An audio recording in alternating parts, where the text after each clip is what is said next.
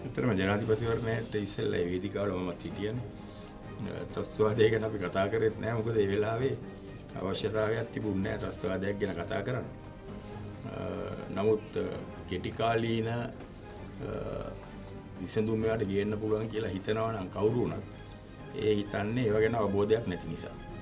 ඒව ගැන දැක්මක් නැහැ ගැඹුරු අවබෝධයක් නැති නිසා අපට යම්කිසි අත්දැකීමක් තියෙන නිසා මම හිතනවා ඒකට හොඳ උපාය මාර්ග හොඳ යටිතල පහසුකම් සංවිධානය කරලා ප්‍රතිසංවිධානය කරලා දුර්වල අංශ ඒ වගේ දේවල් මාසෙන් දෙකෙන් කරන්න බෑ.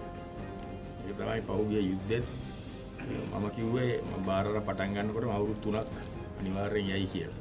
අවුරුදු දෙකයි මාස 9 ඉවර වුණා.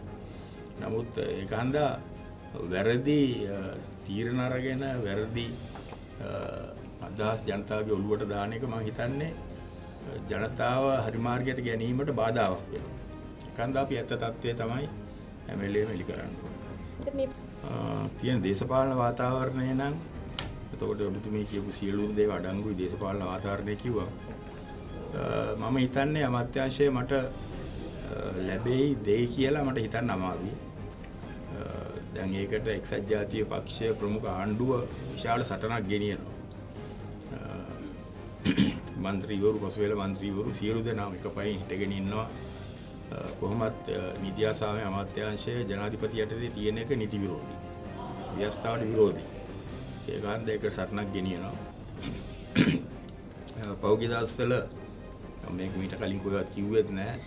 අගමැතිතුමා සහ ඇමතිවරු හතර දෙනෙක් මීට සුමානකට අතර ඉස්සෙල්ලා ජනාධිපති හම්බ වුණා. හම්බෙලා මේ ඉල්ලීම තරේම ගැඹුරින් කරා එතුමාට. එතුමා දීලා තිබුණ උත්තරේ තමයි පළවෙනි උත්තරේ එයාට නීති හා සාමය දුන්නොත් ඉස්සෙල්ලම එයා මාවත් අඩංගුවට ගනී කියලා. ඒක තමයි දීලා තිබුණ උත්තරේ. ඊළඟට කියලා තිබුණා මට වෙන කැබිනට් අමාත්‍ය ධූරයක් දීලා මම ආරක්ෂක කවුන්සිලයට ගන්නම් කියලා උපදේශක කෙනෙක් හිටියේ. මම ඒක ප්‍රතික්ෂේප කරා. මම අද ඉන්නේ මගේ ස්ථාවරය වෙන කිසිම කැබිනට් අමාත්‍ය ධූරයක් මම බාර ගන්නෑ. මොකද රටේ ජනතාව ඉල්ලන්නේ නීති හා සාමය අමාත්‍ය ධූරය මට දෙන්න කියලා. මේක අන්දා උපදේශකවරු හැටියට ගිහිල්ලා ඒක ප්‍රතිඵලය වෙන්නේ මට කතා කිරීමට තියෙන අයිතිය නැති වෙන එක විතරයි. ගන්ධම එතනට යන්නේ නැහැ. නීති හා සාමය අමාත්‍යාංශය ලැබුණොත් බාර ගන්නවා නැත්නම් മന്ത്രി කෙනෙක් හැටියට ඉන්නවා. එහෙම ලැබුණා කියලා ඉතින් ඔබතුමා එහෙම පරිගැනීමක් කරන්නේ එහෙමයි.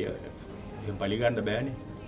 නීතිය කියන්නේ නීතිය ක්‍රියාත්මක කිරීම. එතකොට වැරදි කරපු අයට ඒවට මුහුණ දෙන්න වෙනවා.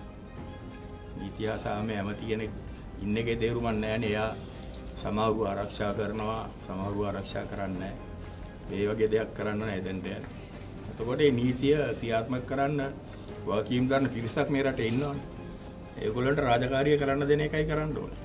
කළා ඒගොල්ලන්ට අවශ්‍ය ශක්තිය අමාත්‍යාංශය හරහා ලබා දෙන්න ඕනේ. එතකොට හැමතෙම සාධාරණ ඉෂ්ට වෙයි. ඔව් මෙහෙමයි ඇත්ත తත්වයේ කිව්වට කමන්නේ මම දකින්නේ මාධ්‍යයෙන් දැන් කඩු 50ක් හම්බුණා කිව්වම එතන විශාල ත්‍රස්තවාදී හමුදාවක් සංවිධානය වෙලා ඉන්නවා කියලා වගේ පින්තූරයකුත් නැවෙනවා සමහරලාට.